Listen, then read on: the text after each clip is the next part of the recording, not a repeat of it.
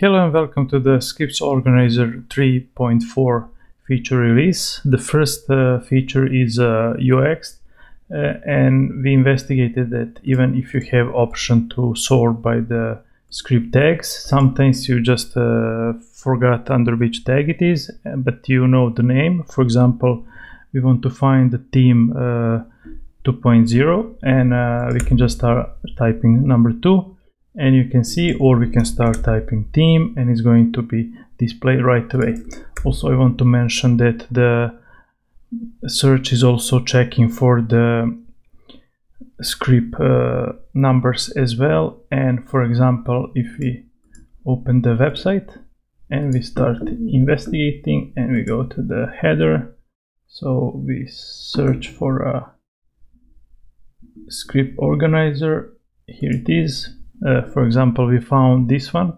It's uh, number 50 and if we start typing the 50 we are going to find it right away. So you can see how useful it is. The second one is also UX improvement and uh, in a previous version you had only one label uh, one button with the label add new and you could also easily be lost uh, what you are adding because for example if you are at as you can see uh, under the partials you will be adding new partial but for example if you open this one you can easily get lost uh, if you are opening the or if you will, will add a new partial or you will add a code block and once you add a Gutenberg extension it's going to be even more confusing. So what we did is uh, we added uh, multiple add uh, buttons. So you can easily just create add uh, or add a new block new partial or a new Gutenberg if you have the add-on.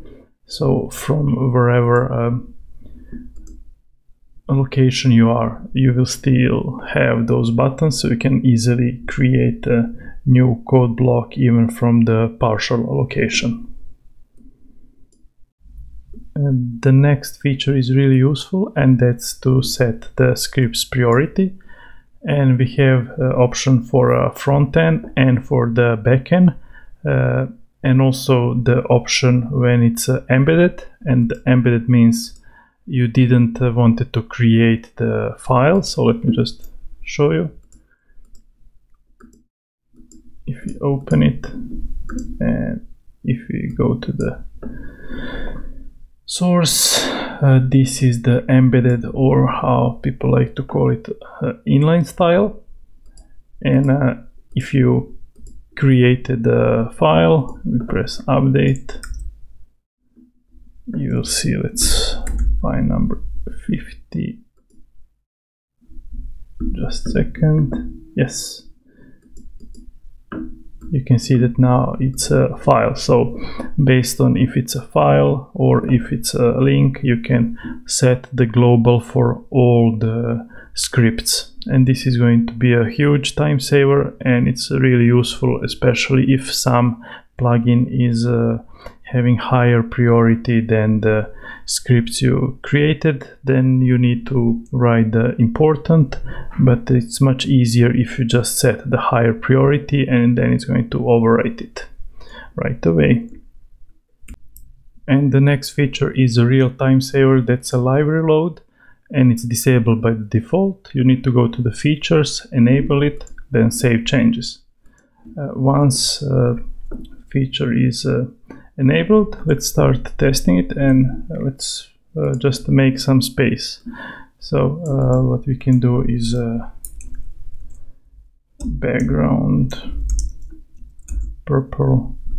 And you can see that everything is uh, updated right away without needed needing to uh, reload.